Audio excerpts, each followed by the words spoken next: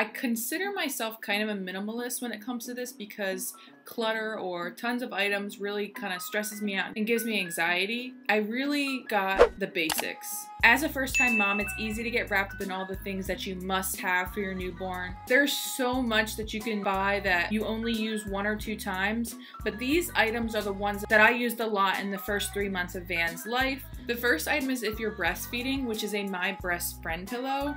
To me, this is absolutely necessary if you're breastfeeding. So this pillow is really nice because it basically straps around you like a table for your newborn and it leaves you hands-free.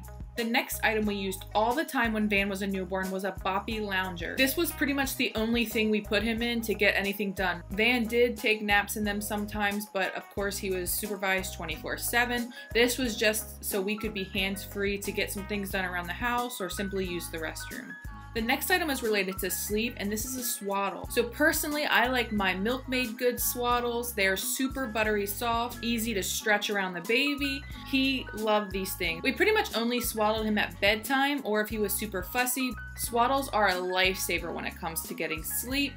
The next item is a mirror. So this is really the only toy that I feel like newborns enjoy because they can't really see that far. And this is a really simple tool that you can pull out for tummy time as well when they are ready to start that. This next item we still use to this day, and that is the chuck pads. So the chucks are really nice because you can sleep on them, and we also use them to change Van on. We also take the chucks anywhere we go because you just never know where you're gonna have to change him, and it ensures that the surface is clean and it's easy cleanup.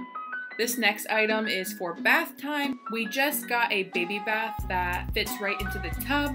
Just putting him straight in the tub was way easier than trying to maneuver the sink. It's convenient and I can use it until he's able to sit in the bath on his own. The last newborn essential is a carrier. I'm a big fan on baby wearing because all baby wants to do is be close to you after you just carried them for 9 to 10 months. So getting something that's comfortable for you and baby is key to getting some freedom. I personally had the Solly baby wrap. I really liked this wrap when Van was a newborn and he loved napping in it. These are definitely newborn essentials. There's tons of other things that you can get caught up in buying, but if you want to try to stay minimal and not spend a lot of money and not have your house super cluttered in a bunch of stuff, then these are really the only items that you need to be successful in my opinion and my experiences. Like this video, share it with a new mom, subscribe to channel, and make sure you check out my breastfeeding video.